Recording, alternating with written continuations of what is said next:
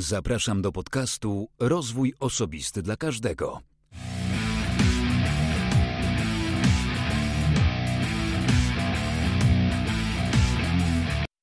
Zapraszam do wysłuchania 52 odcinka podcastu Rozwój Osobisty dla Każdego.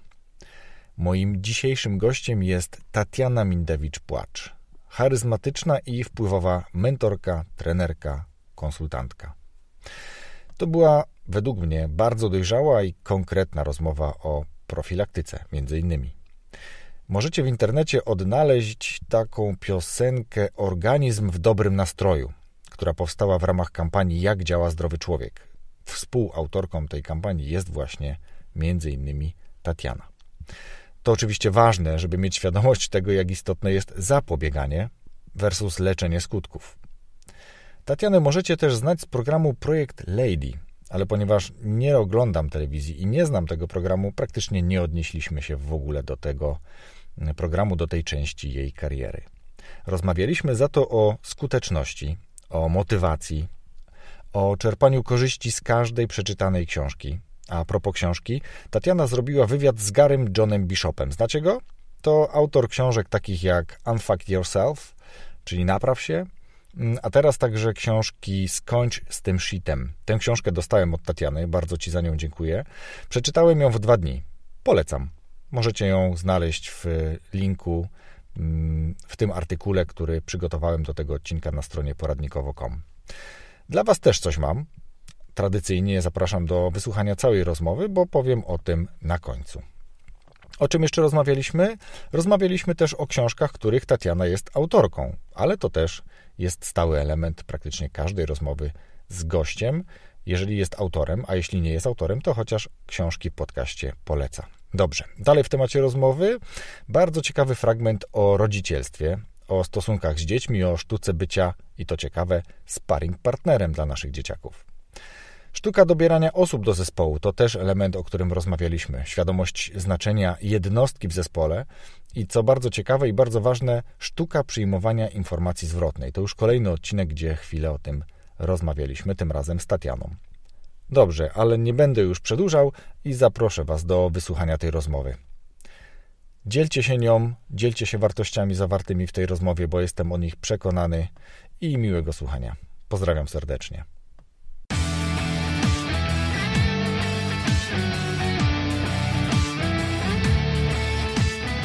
Cześć Tatiano, bardzo dziękuję Ci za przyjęcie zaproszenia. Cześć, to ja bardzo dziękuję, że chciałaś tutaj przyjechać. tak, to dla mnie zawsze ciekawe, ciekawe takie wydarzenie, że umawiam się i mogę gdzieś ruszyć się poza Poznań, spotkać się z kimś ciekawym i porozmawiać. Więc jakbyś teraz mogła tylko przedstawić się, kim jesteś Tatiano, czym się zajmujesz, tak żeby słuchacze wiedzieli już z kim rozmawiam. Tak, no, no zaczniemy tak jak w szkole nas uczyli, czyli Tatiana Mindewicz-Pułacz, najpierw imię, potem nazwiska.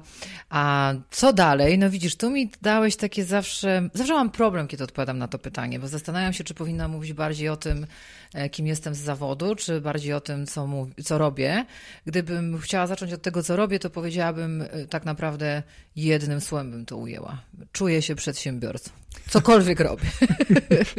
Dobrze, podoba mi się, ale robisz dużo. Robisz dużo, bo ja, jak to zwykle mam też tak w zwyczaju, przeglądam sobie troszeczkę o, gościu w social mediach. Masz bardzo ładne kanały, szczególnie ten na YouTubie. Y, ciekawie się to ogląda. Bardzo, Och, bardzo mi miło to słyszeć. Wiesz, to nie jest takie klepanie do, do kamery, bo dzisiaj bardzo dużo jest już takich osób, tylko jest tam ciekawych parę takich rzeczy, które przykuwają widza, więc zapraszamy na YouTube Tatiany. Ale powiedz coś więcej, bo to, że jesteś przedsiębiorcą, to, to, to bez mała rozumie się już samo przez się, ale mhm. te twoje aktywności są bardzo interesujące, szczególnie y, dlatego, że one dotykają bardzo mocno czegoś, co bardzo lubię, czyli rozwoju osobistego. No właśnie, super, że podprowadziłeś mnie do tego miejsca, bo e, dlaczego w ogóle zaczynam od mówienia, że jestem przedsiębiorcą? Kiedyś robiłam zupełnie inaczej. Wiesz, jak się przedstawiałam trzy lata temu, to mówiłam, jestem dziennikarzem, psychoterapeutą, certyfikowanym coachem, realizuję kampanie społeczne i przyszedł taki moment takiej naprawdę mocnej konfrontacji e, w, moim życiu zawodowym. To, było, to była zmiana formuły spółki, którą zarządzam, w ogóle dostosowanie się trochę do tego, co się dzieje na rynku i wtedy zaczęłam sobie zdawać sprawę, pracując coraz częściej z indywidualnymi klientami w biznesie, czyli nie tylko tak jak wcześniej procesy zmian firmy, duże szkolenia, ale także indywidualne osoby, nie wiem, ludzie, którzy zaczynają w jakichś startupach i próbują coś zrobić, żeby to nie był wieczny startup, ludzie, którzy przygotowują się do jakiejś rekrutacji, także ludzie, którzy są w tych trudnych procesach zmiany. I nagle zdałam sobie sprawę, że to, co im najbardziej pomaga, niezależnie od tego, ile znałabym narzędzi, na ilu byłabym konferencjach, jak wiele teorii bym przeczytała, fascynuje mnie to, więc czytam całkiem sporo, to najbardziej użyteczne są dla nich te wszystkie przykłady, czy te sytuacje, w którym ja się odwołuję do doświadczeń, do czegoś bardzo konkretnego. A ponieważ od 19 lat y, y, mam firmę, a pracuję od y, 19 roku życia i teraz jak dodamy te 19, to jeszcze trochę zostanie, bo, bo naprawdę pracuję bardzo, bardzo długo y, i zaczynałam być przedsiębiorcą mając niecałe 30 lat mm, to myślę, że te właśnie doświadczenia najbardziej są przekładalne, najłatwiej jest odnieść jakąś wiedzę właśnie do konkretu. I druga taka moja uwaga, że znacznie bardziej moich klientów wzmacnia sposób, w jaki opowiadam ich o swoich błędach czy porażkach, niż to, jakim opowiadam o sukcesach. Wiesz co, bo uczymy się na błędach, to jedno, i najbardziej uczymy się na własnych błędach, to często boli i kosztuje, ale jest najbardziej skuteczne. Ale to, jak opowiadamy, ty opowiadasz, ja też często opowiadam o swoich błędach, tobie przed chwilą opowiedziałem o wszystkich możliwych wpadkach przy nagrywaniu podcastów, to ludzi to cieszy nie dlatego, że a, coś mu się nie dało, tylko to też jest człowiek normalny, Dokładnie. popełnia takie same błędy, jakie ja popełniałem, czyli ze mną jest wszystko w porządku. Dokładnie takie samo mam wrażenie, a przede wszystkim, że można wyjść z różnych sytuacji. Ja lubię mówić, że błędy to są takie mięśnie sukcesu, że jakbyśmy tak statystycznie, kocham w ogóle do tych naszych miękkich obszarów dodawać dużo statystyki i przykładów mm, i y, jakbyśmy tak popatrzyli na ludzi, którzy odnoszą sukces i prześwietlili ich, tu trochę ten mój e, dziennikarski taki, wiesz, rys się wykraca, że lubię tak dojść, jak, jak czytam autora, książkę autora, to jestem najpierw bardzo zainteresowana, zwłaszcza autora, który e, chce nam coś poradzić albo coś osiągnął, to bardziej jestem zainteresowana najpierw, jakim on jest człowiekiem, czy wartości, o których on mówi, e, odzwierciedlają się w jego życiu, czy jego, czy to, co on nam zestawia w, te, w tym materiale, ma odniesienie do jakiejś jego refleksji, do jakiegoś momentu klik, do czegoś, co zrobił. I teraz, kiedy przez długi czas pracowałam Ucząc ludzi negocjacji i sprzedaży jeszcze w swojej firmie doradczej, ucząc komunikacji, to musiałam szukać takich przykładów ludzi sukcesu. E, I okazało się, że oni tak naprawdę wcale nie mieli większych trafień, jeśli chodzi o pomysły. To, czego się bardzo często boimy. Nie? My nie będziemy Zuckerbergiem, nie będziemy, nie wiem, czy to dobrze wymówiłam, Ktoś to już czego wymyślił. nie poprawisz. Mhm. Tak, y, nie, nie, nie, każdy z nas y, będzie y, taki jak Steve Jobs czy Bill Gates. Oczywiście, że nie, bo do tego jeszcze dochodzą zupełnie inne rzeczy, ale ludzie, którzy mają sukces, przede wszystkim statystycznie znacznie częściej podnoszą, e, po, po, po, ponoszą ryzyko, wchodzą w jakieś kolejne próby.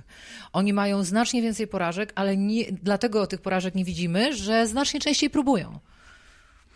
Dobrze, że to powiedziałaś, bo dzisiaj jadąc tutaj słuchałem dwóch rzeczy. Słuchałem najpierw e, audiobooka e, Koweja, e, a później podcastu kolegów z do początku i w obu jest motyw, o którym właśnie mówisz. Z jednej strony jest sytuacja takiej determinacji, gdzie możemy się odwołać, nie wiem, do Sylwestra Stallone, który ze swoim scenariuszem chodził od wytwórni do wytwórni, żeby nakręcić Rokiego. Mm, a tutaj też słyszałem dzisiaj właśnie w podcaście o o autorze historii Lista Schindlera, który przez bodajże 16 lat co tydzień dzwonił do e, Spielberga, żeby nakręcił ten film o Schindlerze. Mhm. Więc to jest coś, co powoduje, że gdyby nie było tego człowieka, który jest tak mocno zdeterminowany, to bardzo wielu ciekawych lub zabawnych historii nie poznalibyśmy. Zdecydowanie. A Grisham, który w ogóle został, który jest prawnikiem z zawodu i którego książkę książki, tak. E, odrzucali, pierwszą książkę, która miała super ekranizację, jak wiele jego książek. Tak, pamiętaj też, y, bo y, ja, ja lubię raz na jakiś czas robić taki porządek w swojej głowie i w myśl takiego powiedzenia, że jeśli czujesz się najmądrzejsza w w, danej sytuacji, w danym pokoju, to trzeba zmienić pokój, e, to lubię konfrontować tę swoją wiedzę, a zwłaszcza jak zaczynam nabierać takiej, wiesz, pewności, to lubię wyjść na zewnątrz i zapytać, czy nic się nie zmieniło, tak? Zapytać różnych innych ludzi, czy naprawdę tak to wygląda. I powiem Ci, że takie najistotniejsze dwie rzeczy, które zmieniły moje podejście do zawodu, już zawodu kogoś, kto inspiruje, motywuje, kto pracuje przy procesach zmiany, to pierwsza sprawa, kompletnie nowe spojrzenie na motywację. Jak będziesz chciał, to Ci o tym opowiem. Ale druga rzecz to jest też kwestia wyboru nas ludzi, czyli to, że my mamy tak duży wybór. Jeśli mówimy o determinacji, która się rozkładała na lata, to dzisiaj ludzie w ogóle nie mówią o takich celach. Ludzie dzisiaj mają wszystko na guzik. Zobacz, brama jest na guzik, telewizor jest na guzik, pralka jest na guzik, w zasadzie wszystko jest na przycisk, na klik. My w ogóle kompletnie nie jesteśmy przyzwyczajeni do tego, żeby odwlekać czy odraczać cel o 3 czy 4 miesiące. Jak słyszę na warsztatach, że ktoś mówi, e, takich wiesz, kobiecych, że da się pracę zmienić w miesiąc, da się firmę założyć w 3 miesiące, da się schudnąć w 2 tygodnie, to to są takie rzeczy, które bardzo wyniszczają nasz system determinacji, które nas zniechęcają ogromnie. I te dwie rzeczy, właśnie inny stosunek do motywacji, ale też świadomość, że nasza wielość wyboru oznacza, że praktycznie nie wybieramy, bo wybór im większy, paradoks wyboru, bardzo dobra, już dosyć stara książka, mówi o tym, że im więcej mamy wyboru, tym bardziej tracimy wolność, zaczynamy być zdezorientowani. To trochę ty mówisz o książce, czyli o poważnej rzeczy, a ja chciałem odnieść się do takiego przysłowia, które mówi osiołkowi w żłobie dano i to jest też dokładnie na podstawie wyborów. I osiołek z głodu zdechł, bo nie wiedział, z którego tak. żłoba zjeść. I to jest dokładnie, historia, to jest dokładnie tak. to, co można powiedzieć jest bez mała puentą książki, o której mówisz, bo, bo faktycznie jesteśmy niewolnikami. Chętnie posłucham o motywacji, ale najpierw, ponieważ każdego gościa opytam, e, zapytam ciebie też o pasję. Co jest twoją pasją lub co jest twoimi pasjami? Jakie masz pasje? Mm, myślę, że coraz częściej mogę tak spójnie powiedzieć, że tą moją pasją jest praca, praca z ludźmi, tak? Tylko kiedyś to były takie kawałki. Uwielbiałam na przykład kampanie społeczne. To jest ogromna moja zawodowa pasja. Przekonywać ludzi do tego, że CSR, czyli społeczna odpowiedzialność biznesu, E, to jest trochę co innego niż charytatywność, że to jest bardzo ważne. E, miałam takie swoje marzenia wtedy, kiedy te firmy otwierałam, e, bo po prostu zdałam sobie sprawę, że gdyby każda firma część swojego budżetu, który wydaje na imprezy w Mikołajkach, po których pijani goście zjeżdżają i zastanawiają się, co, wy, co nawyczyniali w domu. Nie zawsze tak jest, ale sam doskonale wiesz, że bardzo często, które tak naprawdę spotkania są bardzo destrukcyjne dla rodzin, dla wartości, to gdyby przeznaczyć przynajmniej część tych pieniędzy na jakiś fajny cel, tak jak to robi jeden z moich klientów Budimex, który wybudował w Polsce w kilkudziesięciu szpitalach strefy dla rodziców, e, czy jak robi wiele, wiele firm już w tej chwili, to świat byłby po prostu lepszy. Nie musielibyśmy mieć wcale tych podatków coraz większych i nie musielibyśmy mieć ogromnego socjalu, po prostu nauczylibyśmy się, że ta wymiana daje nie mniej nam, bo to była idea, która mnie zapaliła, zajarała, wprowadziła w ekstazę pasji, że zrozumiałam, że ucząc ludzi CSR-u, pokazując zespołom, że mogą zrobić coś fajnego dla innych, paradoksalnie ci, co to robią, dostają jeszcze więcej od, ci, od tych, którym, którym się to daje. I to mhm. jest jedna moja taka pierwsza pasja zawodowa, tak? E, uwielbiam też e, uruchamiać ludzi do działania, przyglądać się, widzieć jak to dzieje. W zasadzie myślę, że cierpię na jakąś chorobę mm, albo kilka zespół takich zaburzeń raczej, jakbym już miała fachowym językiem jako psychoterapeuta się wy, wy, wyrażać, to mam dużo takich rysów zaburzenia, wiesz, od kompulsji, skakania. Ja po prostu jak wchodzę w ciekawy temat, to najchętniej chciałabym dzień poświęcić przynajmniej, żeby lepiej zrozumieć i i wszystko to, co dotyczy powodów, dla których wiesz, ludzie się zmieniają, e, okoliczności, w jakich to robią, e, jak ten człowiek działa, jak działa w grupie. Teraz jestem zafascynowana książką Adama Granta, który mówi o buntownikach, czyli kreatywnych liderach i podważa badania z lat 70. E, na temat spójności w myśleniu grupowym. To są wszystko fascynujące rzeczy i to, i to się staje coraz większa moja pasja. Powiedziałam też, że moją pasją jest gotowanie, ale bliżej prawdy jest to, że moją pasją jest jedzenie, bo to wychodzi mi lepiej. No cóż, no, żeby dobrze zjeść, to trzeba wiedzieć, jak to coś zostało zrobione i poeksperymentować. No, no właśnie tutaj, e, jak, jak, jak mówi mój partner i czasami mi wychodzi nieźle. No dobrze, słuchaj, bardzo ciekawe pasje i e, po, podobają mi się wszystkie, łącznie z tym jedzeniem. Ale teraz chęt, chętnie posłucham o tym, o czym powiedziałaś, o motywacji, bo motywacja to jeden z gości też bardzo ciekawie powiedział o tym, a mnie się to trochę tak przekłada, że e, za sukces nie odpowiada motywacja, tylko determinacja. Niemniej jednak jedno bez drugiego trochę tak y, nie do końca dobrze by chyba wyglądało. Więc jakie ty masz spostrzeżenia, y, obserwacje co do motywacji? Myślę, że bardzo podobnie myślę, tylko ponieważ y, żeby też nie, nie zrobić krzywdy y, samemu terminowi motywacja, to przygotowując się do y, serii wykładów, które teraz w styczniu, pierwszy wykład w ogóle będziemy mieć w grudniu dla jednego z moich klientów, a potem cały przyszły rok y, poza biznesem będziemy robić wykłady właśnie na temat tego nowego podejścia do motywacji, to powiem Ci, że zrozumiałam, że też bardzo istotna jest semantyka, czyli słowa, bo y, faktycznie, gdybyśmy podzielili cały proces zmiany na y, takie terminy jak inspiracja, działanie, determinacja, to można by powiedzieć, że determinacja jest ważniejsza, że działanie jest ważniejsze. Natomiast ja zaczęłam postrzegać zupełnie inaczej rolę motywacji pół życia myślałam, że motywacja to jest właśnie pewien stan, tak? Naoglądałam się, słuchaj, filmów, byłam w, na szkoleniu w, w, Kalifornii trzykrotnie na y, ogromnych eriksonowskich konferencjach. Y, nagrałam parę filmików, które dzisiaj patrzę i myślę, no brawo. I czego nauczyłam ludzi?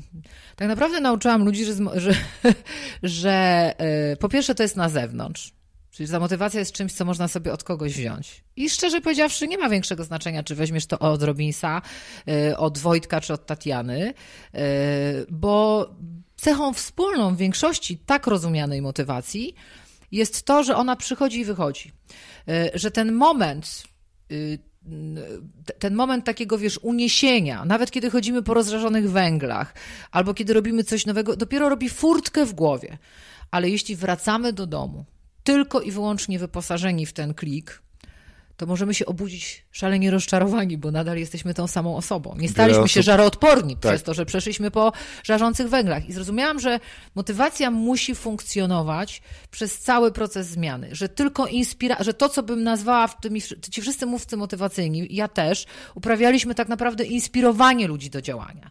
A to jest to jest korytarz do motywacji. Motywacja zaczyna się i tu Szapoba, Mel Robbins y, po prostu w momencie, kiedy robimy pierwszy krok. I co ważniejsze, żadna, powiem to z pełną odpowiedzialnością, żadne przygotowanie siebie psychicznie tutaj nie ma takiej wartości, jak to, żeby wbrew temu, że jesteśmy wkurzeni, wściekli, znasz kogoś, kto z ochotą wstaje nagle o 6 rano, albo ktoś, kto, kto z ochotą podejmuje wyzwanie schudnięcia, jeśli ma do zrzucenia kilkadziesiąt kilogramów, odbudowania się z koszmarnych długów chrzanić wtedy dobre samopoczucie. Właśnie cała sztuka motywacji, ja to nazywam w swoim nowym wykładzie sztuka robienia siebie w konia czyli takiego, e, takiej rozmowy z tym, z, z, tym, z tym, co bojkotuje w nas zmianę, czyli z tym oporem wewnętrznym, z tymi wszystkimi mechanizmami, które racjonalizują, żeby pomału, poprzez działanie, e, wiedząc już, że ta inspiracja to jest ważna, to jest,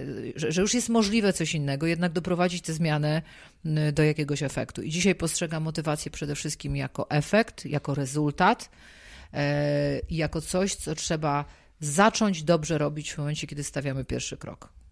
Widziałem to, o czym mówisz, robienie siebie w konia. Widziałem też to, żeby siebie zmęczyć, żeby się wydzieliły endorfiny, ale chcę odnieść się trochę do tego, o czym powiedziałaś, czyli ludzie budzą się bardzo często i mają przeczucie, że zostali zrobieni w konia, że budzą się, że czują się oszukani wręcz, że ktoś, komu zapłacili, kto został im wręcz polecony bardzo często i zainspirował, nie dodał tego, o czym ty powiedziałaś, że będzie bardzo dużo rzeczy po drodze, które nie będą się podobały, które będą nas odciągały od tego celu, który sobie postawiliśmy, zrzucenia tych kilogramów czy spłacenia długów. Brakuje tego B później po tym A, tego, żeby ktoś powiedział jak. Nie, nie tylko, że zrób to, jesteś w stanie, możesz wszystko zawsze i wszędzie, bo, bo takie hasła też są, tylko właśnie jak, od czego zacząć, żeby się obudzić rano i zbudować sobie jakiś plan, jak ja do tego dojdę. Dokładnie tak jak mówisz, i my mamy tutaj dużą rolę do zrobienia, ale znowu przypomina mi się taki klik w moim życiu, kiedy a propos tego, bo wszystko mówimy o tym, jak działa człowiek. E, wiesz, to jest trochę z tym, że ktoś mógłby to powiedzieć z tych mówców i z tym, że my sami moglibyśmy to wiedzieć, jest trochę tak jak z, z leczeniem i z profilaktyką. Jak przygotowywałam wiele lat temu kampanię Organizm w dobrym nastroju, takie śpiewające organy, bardzo fajna, nagrodzona przez KTR kampania dla Ministerstwa Zdrowia e, i miałam ogromne szczęście pracować z naprawdę takimi super zdolnymi, kreatywnymi ludźmi, ale też lekarzami i zastanawialiśmy się, jak podać ludziom profilaktykę. Powiem Ci szczerze, że ja dopóki nie jestem do czegoś przekonana, to jestem nieskuteczna, a naprawdę wśród moich klientów taka główna cecha to, to jest skuteczność, wcale nie czarnie, jakieś cuda, co to mnie podejrzewają niektórzy, co oglądają e, bardziej popularne wersje moich wystąpień.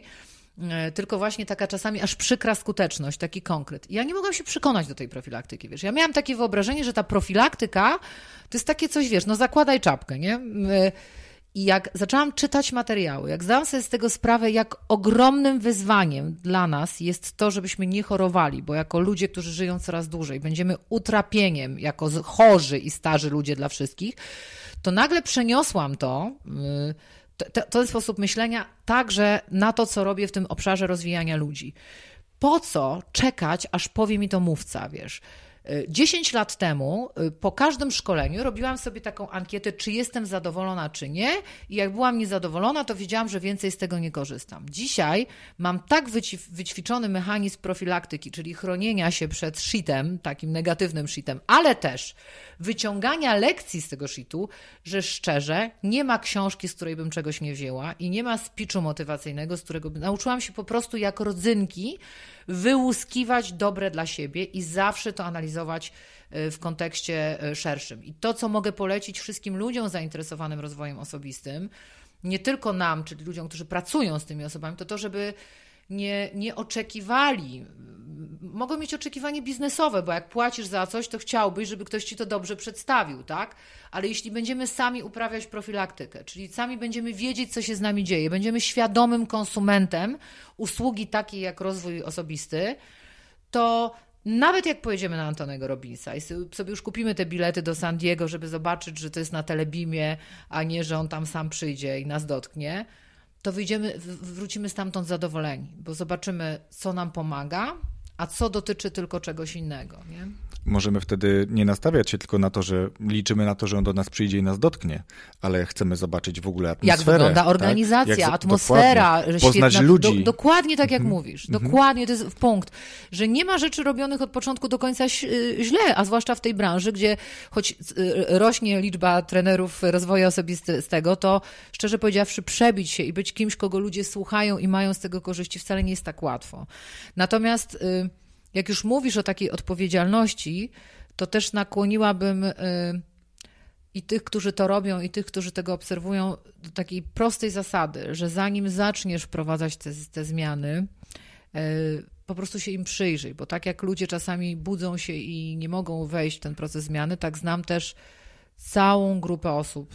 Tutaj kobiety wiodą prym, y, niestety, które właśnie po takich spotkaniach te decyzje podejmowały błyskawicznie, w chwili impulsu, trochę naganiane, takie wiesz, leci muzyka, właśnie endorfiny, tak, teraz. Skaczemy, wiesz, skaczemy. Wychodzę, rzucam pracę. O tym będzie między innymi moja trzecia książka. Yy, yy, wiesz, rzucam pracę, natychmiast, rozwodzę się. Potem się okazuje, że mam na dwa miesiące zaplecze finansowe, jestem tylko na to przygotowany czy przygotowana, że tak naprawdę to nie chodziło o mojego partnera, tylko o mój stosunek do związków i to, co ja mogę zaoferować i chcieć wziąć, i że nic się nie zmieniło, poza tym, że moja sytuacja się diametralnie pogorszyła. I to jest już takie naprawdę na granicy etyki. Nie wolno takich rzeczy robić, bo to trochę, mówię wszystkim, którzy myślą sobie, to jest tylko sprzedaż, to proponuję, żeby obejrzeli dokument o Trumpie, w jaki sposób sprzedawał swoje mm, szkolenia ludziom mocno zadłużonym. To się niczym nie różni. Jeśli namawiamy ludzi do czegoś, co jest dla nich niedobre, szkodliwe i używamy do tego technik, to nie jest fajne nie jest fajne. Jest to wtedy manipulacja kojarzona ewidentnie z wykorzystywaniem, z czymś, co jest niedobre, bo w momencie, kiedy jest dobre i wpływamy na tego człowieka w pozytywny sposób, y, mamy dobre intencje, no to jest, nazwijmy to, właśnie wpływanie, a nie manipulowanie. No, efekt tak. jak gdyby ten sam, tylko skutki różne, Dokładnie. można powiedzieć. I nie możemy wziąć nigdy 100% odpowiedzialności za tego człowieka. Jak mówił mój, mój profesor Melibruda na studiach, y, dziecko z dorosłym nie ma żadnych szans i przy dzieciach są zupełnie inne standardy, natomiast dorosły ma wszystko, co potrzebne, żeby się sam obronić ale jednak y, nie możemy uprawiać, nie powinniśmy uprawiać manipulacji, ona nie jest zakazana, ale jest wbrew całej idei pomagania ludziom. Mnie się podoba też y, popatrzenie na dziecko, że to czasem my przy dziecku nie mamy szans. O, to masz nastolatka w domu, widzę jak ja. Y, dwo, dwójkę. No to cóż ci mogę powiedzieć? Tak, wszystkie mechanizmy, których uczymy się przez całe życie i na szkoleniach i doświadczając w stylu, nie wiem, zdartej płyty i, i wiemy o tym, to poddajemy się pięknie w tym. Masz rację. I, i, Ale może pokażę ci w tym korzyści, bo mhm. mm, ja nie wiem, jak być dobrym rodzicem, ale nieustannie próbuję. E, mam syna starszego, który ma 29 lat, młodszego, który ma lat 15. E, e, myślę, że zawsze łatwiej jest mówić o tym innym rodzicom niż stosować to samemu, dlatego nigdy mi się nie zdarzyło ocenić żadnego rodzica i jestem też mocno zbulwersowana, jak ktoś to robi. Natomiast to, co ci mogę powiedzieć, że ostatnio mi mój przyjaciel Edek Orpik, bardzo dobry terapeuta, powiedział coś takiego, jak się przygotowywałam do wywiadu w radiu RMF na temat tego, jak powinno się rozmawiać o używkach z dziećmi i tak dalej, że my jako rodzice powinniśmy być przede wszystkim, próbować być dla naszych dzieci sparring partnerem. Co to oznacza? Żeby nawet nie starać się wyrównywać też, że sparring partner to jest ktoś, kto wie, że to jest pewien rodzaj treningu, żeby nasze ego y, nigdy nie uwierzyło w to, że może warto mu tak pokazać, nie? że może my mamy pokazać ramę, granice, ale on się uczy przy nas życia, musi wiedzieć, co jest dobre, co złe, i czasami w konflikcie jest to, że chcemy być lubianym rodzicem, a musimy być po prostu odpowiedzialnym rodzicem przede wszystkim. Nie? Zgadza się. Powiedziałeś, że rodzice chętniej słuchają czasami rad innych rodziców, a ja ci powiem, że doświadczyłem tego, mm, czy trochę innej rzeczy, gdzie ta młodzież chętniej słucha tego samego nawet, ale od innej od osoby, a nie innego, od rodzica. Prawda? Jak prowadziłem warsztaty z młodzieżą dotyczącą, te warsztaty dotyczyły mowy ciała, wystąpień publicznych, pewności siebie, to oni słuchali tego, ale ja byłem przekonany, że dokładnie to samo nieraz słyszeli od swoich rodziców, ale gdzieś to tam bokiem przechodziło, a tu jednak było takie zaangażowanie i takie mhm, Słuchaj, czuję to, rozumiem. Nie powiem ci, jakie słyszę rzeczy od mojego młodszego syna. On w ogóle jest śmieszny, bo on jest kompletnie niemedialny. On w ogóle bardzo mnie prosi, żeby nigdy nie pokazywać nawet tam kawałka jego ręki na żadnego serze. Ja to szanuję, ale też jest pełen takiego w ogóle, takiej dezaprobaty dla tego, co robi. Czasami y, zmuszam go, to jest taka, y, zmuszam. To jest jedna z konsekwencji, kiedy coś robi i mówi, że to jest, y, że zrobi inaczej, to on wie, jaka będzie konsekwencja. Będzie musiał na dany temat znaleźć coś w internecie i tego posłuchać, tylko coś wiarygodnego, albo obejrzeć dokument. Nie? Jak mieliśmy dyskusję o papierosach, to ponieważ przychodził z jakimiś takimi to szkodzi, to nie szkodzi, ja mówię, to proszę obejrzeć, podaj mi fakty. Nie? Ale widzę też dokładnie to, co ty mówisz, że najprostsza rzecz, powiedziana przez kogokolwiek, kto nie jest rodzicem, no my jesteśmy po prostu szczytem obciachu dla nich i trzeba się z tym, e, z tym bolesnym, z tą bolesną prawdą pogodzić.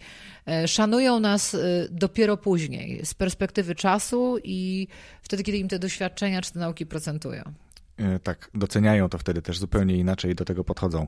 Wiesz co, interesuje mnie jeszcze to, może nie to, jakie są pobudki, bo, bo myślę, że są bardzo zbliżone do, do moich, czy tych, o których myślę, że są e, twoimi pobudkami, ale twój kanał na YouTubie i twoje media społecznościowe są bardzo spójne, a to, co robisz na YouTubie jest czymś w rodzaju tego, co ja robię poprzez podcast, ale ciekaw jestem właśnie, co tobą kierowało poza pewnie chęcią dzielenia się, że dzielisz się tą wiedzą w YouTubie i to robisz no, bardzo zgrabnie. No, no bardzo duża przyjemność i komplement, bo mi się wydaje, że to jest jeszcze cały czas niespójne. I powiem Ci w ogóle całą prawdę. Nie wiem, czy się nie skompromituję. E, główna część mojej pracy to są szkolenia, mm, które organizuję pod konkretne zadanie. Nawet jak robię speech motywacyjny, to zaczynam od tego, że muszę wiedzieć, jaki jest problem, znaleźć sposób opowiedzieć. I ta moja cała działalność z social mediami była trochę produktem ubocznym. Zresztą nomen omen po książce Rework, y, która mi pokazywała, wiesz, y, w jaki sposób można, nie wiem, czy to dobrze wymówiłam, w jaki sposób można dzisiaj szukać i budować biznesu. I stwierdziłam sobie, że skoro już mam tę popularność i docieram do ludzi, y, to mogłabym też tam robić, po pierwsze, dalej te aspekty społeczne, ale też znaleźć jakiś nowy sposób działalności. I zrobiłam research i nie wiedziałam, jak to robić. Robiłam to bardzo intuicyjnie. Wiedziałam też, że na YouTubie praktycznie nie mam szans. To było naprawdę. Więc pomyślałam sobie, skoro i tak nie mam szans, a czasami to, to właśnie uruchamia do działania, czyli nie aspiruję do kogoś, kto będzie sławnym YouTuberem, to po prostu będę sobie y, y, y, robiła to tak, jak lubię, porządnie i uczyła się. To jest tak uwalniające. Polecam to każdej osobie, która się boi napisać książkę, żeby zrobiła w takim razie średnią książkę, średni film. Taki po prostu na granicy, wiesz, po, po, ciut, ciut poza granicą obciachu. I z takim podejściem zaczęłam nagrywać te filmy. Dzisiaj wygląda moje życie tak, że jestem na tyle zajęta innymi projektami, że bardzo żałuję, że nie mogę robić tego systematycznie.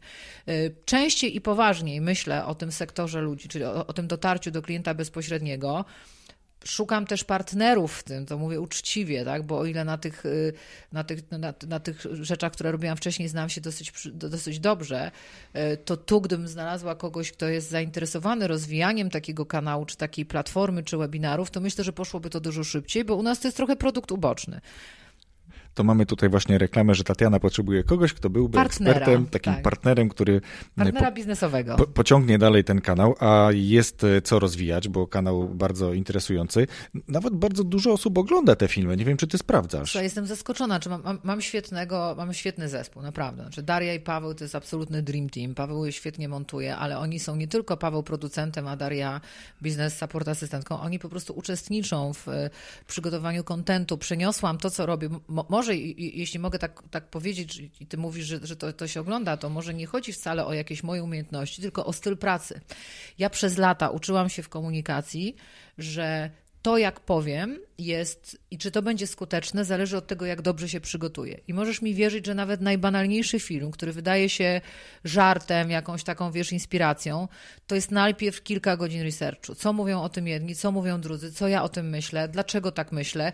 Ja to potem przekładam na taki prosty język, ale dużą wagę przygotowuję do, yy, przepraszam, dużą wagę przywiązuję do przygotowania. Yy, do przygotowania. Wiesz co, warstwa merytoryczna jest niezaprzeczalna. Ja mówię też o takich rzeczach, które powodują, że nie przykuwasz samą merytoryką, ale tym, że chce się na to patrzeć. Czyli no, zobaczcie sami, bo, bo warto. Dziękuję. Wiesz, te twoje kliki, te efekty dźwiękowe, te, te słoneczka pojawiające się i parę tam różnych innych rzeczy, ale trochę chcę się e, odnieść jeszcze do tego, co powiedziałaś. Robisz research, e, mhm. szukasz e, różnych wątków, różnych punktów widzenia. To jest też rzecz, którą należy robić i, i to jest też pewnie efekt tego. Ale też chcę powiedzieć, że ty mówisz w taki sposób, że tego chce się słuchać, bo trudno o trudnych rzeczach, to każdy może poopowiadać, ale opowiedzieć w taki sposób, żeby to było zrozumiałe, zabawne jeszcze bardzo często do tego, no to szapoba, nie? To, Ale to dlatego tak się wiesz. Słuchaj, to przede wszystkim naprawdę też wielkie podziękowania dla mojego zespołu, później mi o tym powiem, albo posłuchają, czyli dla Darii mhm. i Pawła, bo oni na tym też bardzo czuwają. Mhm. Ja się nauczyłam, nie byłam zawsze, myślę, tak, y, takim liderem, jakim jestem dzisiaj. Nauczyłam się y, szanować y, że nawet jeśli oni wiedzą w czymś y, znacznie mniej ode mnie, to o ile w układaniu i prowadzeniu dużych, dużych projektów kiedyś było takie istotne, żeby być działaczem, to dzisiaj jest też istotne, żeby moi ludzie umieli się buntować, powiedzieć, nie, to mi się nie podoba, spójrz mm -hmm. na to inaczej. Mm -hmm. I oni, pomimo, że mają dużo respektu do mojej wiedzy, e, to kompletnie się nie boją zgłaszać swoich sprzeciwów, a ja je biorę pod uwagę, tak?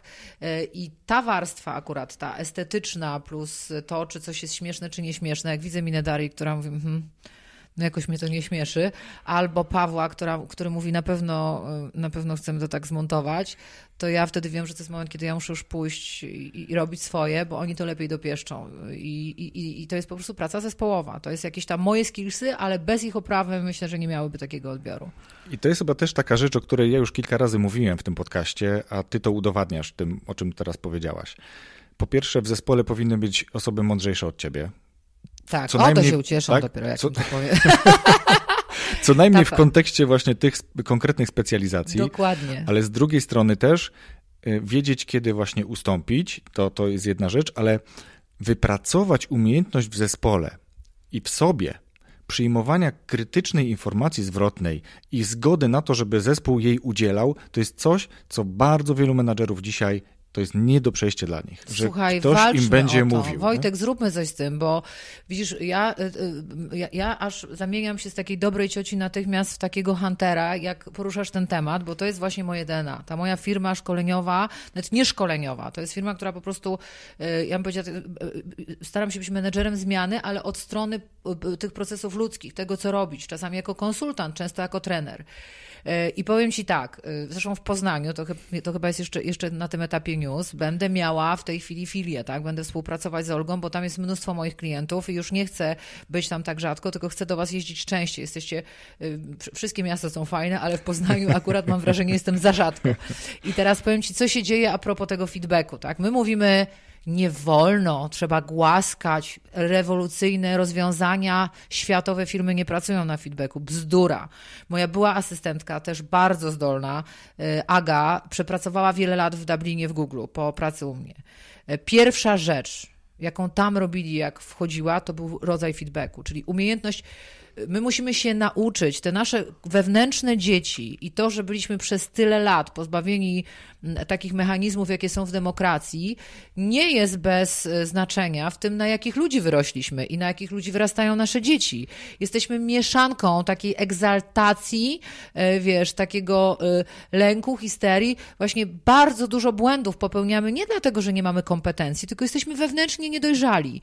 Nie trzeba się bać tego mądrzejszego, o którym ty mówisz, bo to nie ma związku z tym, czy ktoś jest de facto mądrzejszy. To chodzi o to, że on się na pewnych sprawach lepiej zna. Ale z drugiej strony, jeśli jest w grupie ktoś, kto bierze odpowiedzialność, bo to jest ta różnica pomiędzy pyskatym yy, cwaniakiem, cwaniakiem mhm. który mówi to nie, to nie. Y, kreatywni są też często mistrzami. Y, jak miałam szkolenia z kreatywności, pytałam kreatywnych, co wiedzą tak naprawdę o prawdziwej kreatywności, o historii, skąd się wzięło, co to jest, mysz, co, jak jest, co to jest myślenie twórcze. No, wielu z nich tego nie wie. Oni są kreatywni, bo namalowali dwa plakaty, zrobili dwa hasła yy, i, i uprawiają sztukę. Tak? Sztuka to jest w MoMA albo w jakimś innym. Ale, ale to jest taka trochę maniera. Mhm. I teraz musimy się nauczyć przyjmować informację zwrotną, ale też nauczyć szacunku do tych, którzy decydują. Bo to oni w tej grupie podejmują ryzyko skonfrontowania tej wiedzy z rzeczywistością. I ja to, co w tej chwili bardzo pielęgnuję. Kiedyś robiłam to w bardziej zamordystyczny sposób, choć do tego intuicyjnie zmierzałam. Dzisiaj mam więcej cierpliwości, jestem starszą panią. Mówię, super, powiedz mi, dlaczego tego bronisz? Dlaczego to jest Twój pomysł. jeśli ktoś ma siłę i przekona mnie argumentami, super, ale to ja podejmuję decyzję. Mhm. To jest zdrowa proporcja pomiędzy odwagą do sprzeciwu, ale odwaga do sprzeciwu to nie oznacza, że jak wyjdziesz ze swoją ideą, to prezes Google'a zrobi się na chwilę, za chwilę wiceprezesem, bo to, trzeba mieć pokorę do tego. Tupet i pokora to są te dwie cechy, które powinny pomagać. Nie, nie, mogę się, wiesz, odezwać, bo bardzo chętnie tego słucham. Czuję się jak tu, jak na warsztacie, więc y, no dobrze, a powiedz mi w takim razie, jesteś autorką książek. Jakbyś mogła powiedzieć, co to za książki i chwilę o nich? Postaram się tak najkrócej, jak to możliwe, bo. Yy, Pierwsza książka, Lucy tak nie będę idealna, to jest książka, która miała pisać o poczuciu własnej wartości, o budowaniu poczucia własności, takie, wartości. Takie było zadanie moje.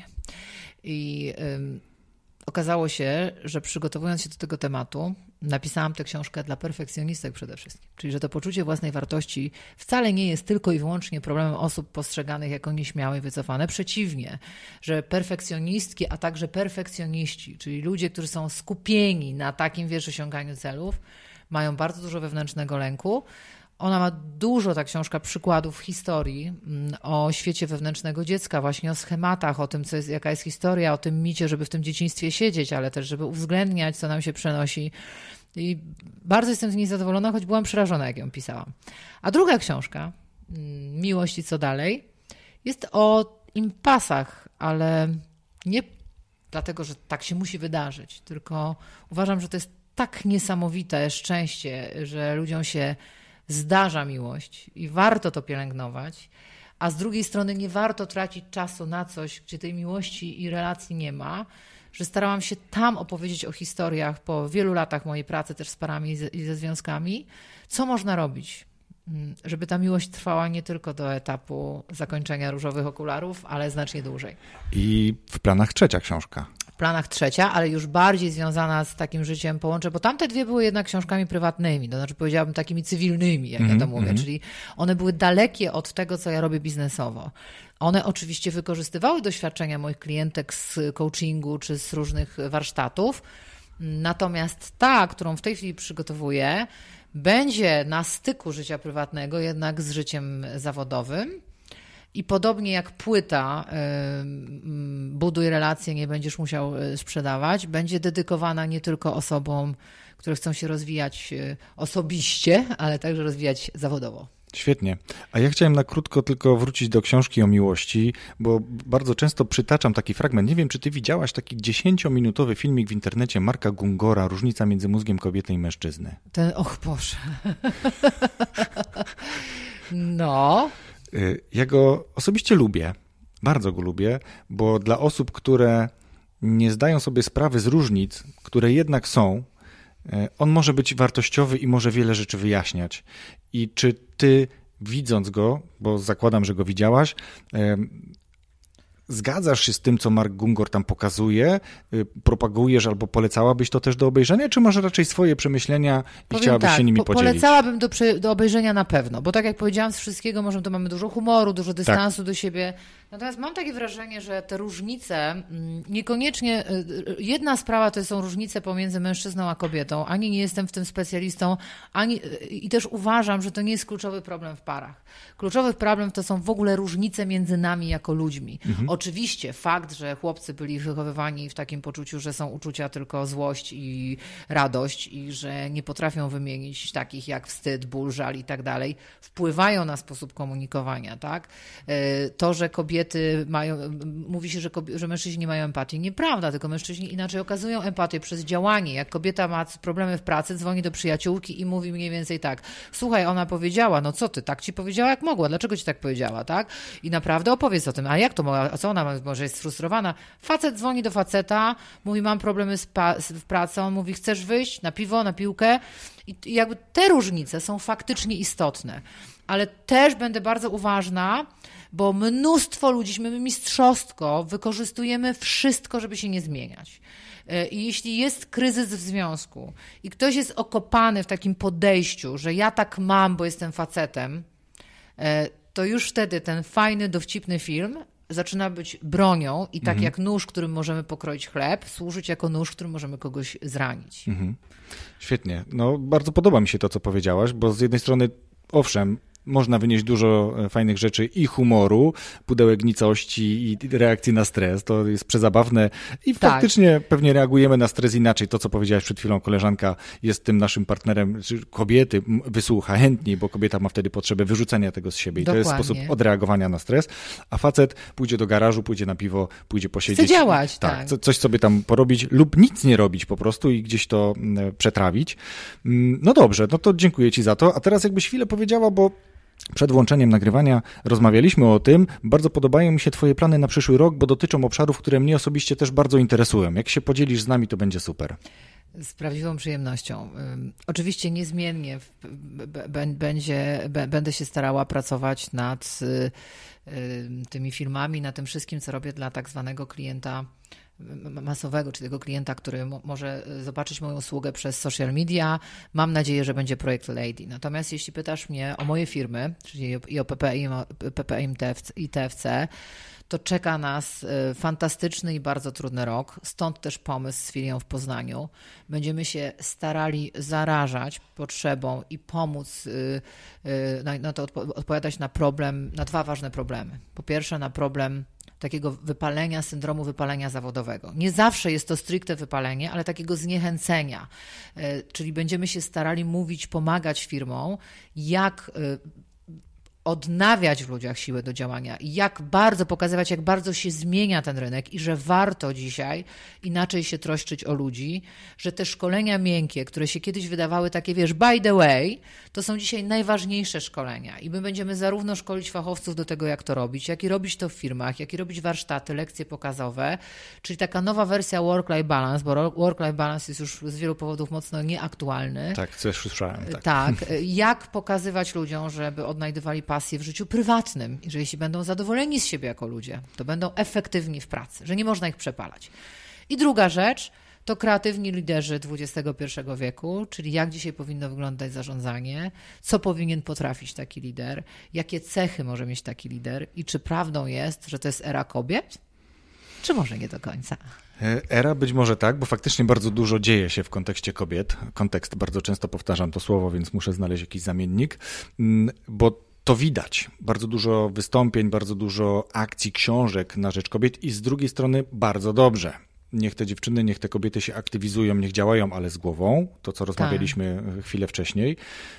Ale myślę, że to nie tylko era kobiet, ale w ogóle no, wiesz, era wiesz działania. jedną rzecz mi teraz, e, jedną rzecz mi unaoczniłeś jeszcze i to jest taki w ogóle komunikat do panów. E, zobacz, faktycznie panowie mają trudniej. Nie dlatego, że są gorsi, tylko dlatego, że są skonstruowani jakby życiowo, ich role społeczne przez lata, przez dekady, przez wieki były zupełnie inne. Natomiast ja bym zachęcała panów, żeby podeszli do tego, co się dzieje, w taki sposób, jak kobiety podeszły i nauczyły się uprawiać męskie zawody, nauczyły się tych rzeczy. Przecież kobiety kiedyś nie robiły tak wielu rzeczy. Dlaczego mężczyźni, zamiast się tym frustrować albo buntować na to, że mamy dzisiaj liderów, którzy muszą być empatyczni, którzy muszą potrafić łączyć różne zajęcia, dlaczego się po prostu nie spróbują nauczyć od kobiet, dokładnie w ten sam sposób, w jakich my się, my się uczyłyśmy, e, uczyłyśmy tego od mężczyzn, czy uczyłyśmy się podobnych rzeczy, których robią mężczyźni. Trzeba się, mężczyzna się nie przystosuje, jeśli nie zmieni podejścia. Jeśli będzie czuł, że jest wykastrowany tylko dlatego, że musi więcej słuchać niż mówić, to w zasadzie już teraz powinien sobie zadbać o rentę. Ja myślę, że to apel nie tylko do mężczyzn jako takich, ale do, do, ludzi. do ludzi i na przykład do szefów, bo o, ja w swojej punkt. historii miałem takich, którzy mówili mi, że ja jestem zbyt miękki. Że, że, że oni by oczekiwali, żebym ja był trochę takim zamordystą, żebym ja kogoś wyrzucił mm. z roboty, tak to nazwijmy. A ja zawsze pracowałem, urabiałem, rozwijałem tak, żeby osiągnąć ten cel bez być może krzywdzenia czasami kogoś, tak? Bo trzeba sobie zadać pytanie, dlaczego ten człowiek się tak zachowuje, jak się zachowuje i oceniany, oceniany jest przez kogoś gorzej, negatywnie, kiedy być może nakład pracy, jaki powinien być włożony w niego, nie został włożony, a ja go włożę i ten człowiek się rozwija. I to jest dla mnie niesamowita wartość. Dokładnie. Dlatego moim zdaniem to jest apel do ludzi, do szefów, czy to jest mężczyzna, czy kobieta, bo kobiety też mają tendencję do przejmowania takiego jestem liderką, jestem szefową, muszę być twarda, a to niekoniecznie jest dobre. Niech ona Masz jest rację, tylko pamiętaj też, że po drugiej stronie, może tu będę trochę adwokatem diabła, ale też przeszłam erę y, takich modeli trochę szwedzkich, że my też jesteśmy bardzo niedojrzałym y, pokoleniem pracowników, że tak. to wszystko, o czym mówisz, inwestycja w człowieka ma sens tylko w jednym przypadku. Jeśli on jest zainteresowany zwróceniem Oczywiście. tej inwestycji pracodawcy. Jak ja słyszę od młodych ludzi, których przygotowuję do rekrutacji, że oni idą i w, jak odpowiadają pracodawcy, że oni się chcieliby rozwijać, to ja mówię, rozwija to się kłębek wełny.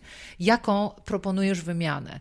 Że koszt y, y, naszej pracy, inaczej, inaczej, że pracodawca nie płaci nam za godzinę, tylko za wartość, jaką w tę godzinę wnosimy.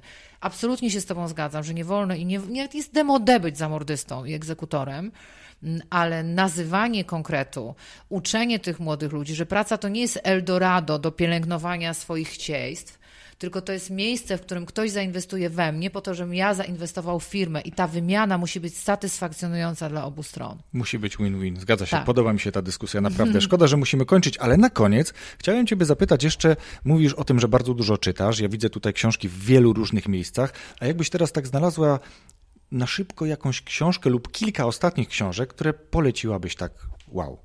E, słuchaj, no więc pierwszą to mam w ogóle dla ciebie w prezencie tu odłożoną. Wow. To jest książka. To ja teraz wow powiedziałem.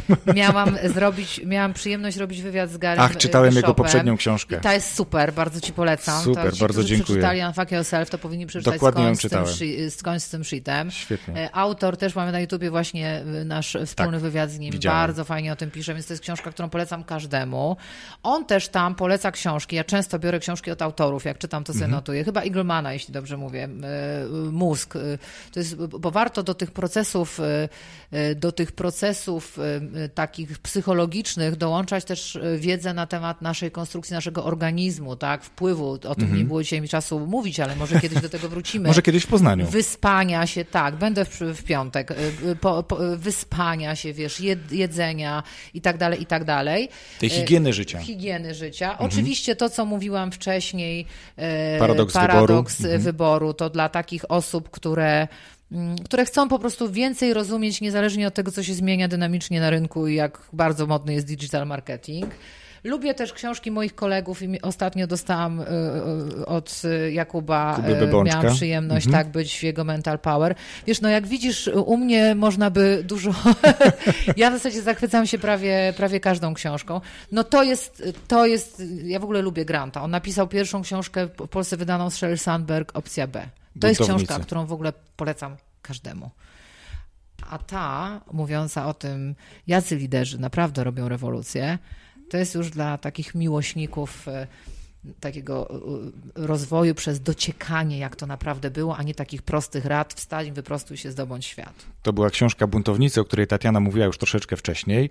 No to jeszcze tak już na koniec. Koniec mówiliśmy o social mediach. Gdzie najlepiej ciebie znaleźć albo y, gdzie wolałabyś kontakt otrzymać, gdyby ktoś chciał się z tobą skontaktować, bo nie wiem, zainspirowaliśmy go, zainspirowałaś go. Już mówię, więc wszystkie kontakty bezpośrednie ze mną najskuteczniejsze, najskuteczniejsze są przez publiczne social media, tak? E, Czyli przez profil Tatiana MP, od- od skrótu od pierwszych dwóch liter nazwisk, albo po prostu Tatiana Mindewicz-Pułacz. To samo Facebook, e, przy czym tam jest i prywatny, i służbowy. I szybciej odpowiadam, bo na prywatny nie mam czasu zaglądać. E, oczywiście Daria Bober, która pełni tak naprawdę funkcję business support asystenta, ale też coraz bardziej przygotowuje się do, y, do roli osoby prowadzącej projekty i naprawdę dobrze zarządza moim kalendarzem i szybko odpowiada na wiadomości. E, jeśli ktoś chciałby kontakt dotyczący tego, co robię jeżdżąc po Polsce, czy tych nowych produktów, no to też świetnym kontaktem jest Olga i agencja Bimor. Każdy, kto napisze do agencji Bimor, Bimor czasem dostanie nie tylko naszą odpowiedź i kalendarz, ale już taki brief do przygotowania jakichś materiałów. Świetnie. To bardzo dziękuję Ci za całą rozmowę, za polecone genialne książki i za to, jak można się z Tobą skontaktować. To była świetna rozmowa. Super czas, bardzo Ci dziękuję. Mówi Ja się wartościowa wymiana. Rozwój osobisty dla każdego.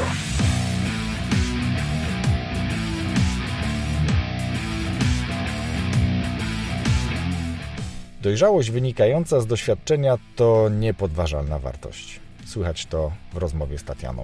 Słychać temperament i charyzmę Tatiany w całej naszej rozmowie. Co było szczególnie istotne, dla mnie nawiązanie do budowania zespołów, ale też i tego, jakimi jesteśmy rodzicami. Nie wiem, czy zauważyliście, ale to już nie pierwsza rozmowa, gdzie poruszam wątek rodzicielstwa. Innym istotnym, nawet bardzo istotnym tematem, który poruszyliśmy, co prawda już na sam koniec rozmowy, to wypalenie zawodowe. I bardzo jestem ciekaw tego projektu Tatiano, bardzo dopinguję i trzymam kciuki za jego powodzenie. I teraz do rzeczy. Dostałem od Tatiany dwie płyty CD, audiobooki i są one dla aktywnych słuchaczy, tak jak wszystkie inne książki, które do tej pory rozdałem. Wystarczy, że dacie znać w komentarzu pod postem na poradnikowo.com, co w tej rozmowie było dla Was najciekawsze. A ja tradycyjnie wybiorę te komentarze, których autorzy otrzymają wspomniane płyty. I teraz może zastanówmy się chwilę nad czasem. 27 jest premiera, koniec roku, Sylwestra. Niech będzie, że do 5, a nawet dobrze, nie, do 5. 5 to chyba niedziela, ja 6 wtedy ogłoszę, kto jest zwycięzcą i kto otrzyma płytę. Powiadomię Was, zwycięzców, e, w drodze mailowej, ponieważ automatycznie pozostawiając komentarz, zostawiacie adres mailowy i ja na ten adres mailowy odpowiadam, informując o tym, że ktoś wygrał. Dzisiaj to już wszystko. Serdecznie zapraszam do subskrybowania tego podcastu, do oceniania i komentowania go na iTunes. To dla mnie o tyle ważne, że pomaga z dotarciem tego podcastu do innych słuchaczy. Możecie też obserwować go na Spotify i w każdej innej aplikacji, która daje taką możliwość. Gorąco o to proszę i słyszymy się już za tydzień z kolejnym odcinkiem, a za tydzień będzie odcinek solowy, rocznicowy, bo to będzie rok odkąd uruchomiłem podcast o rozwoju osobistym. Wszystkiego dobrego, do usłyszenia za tydzień.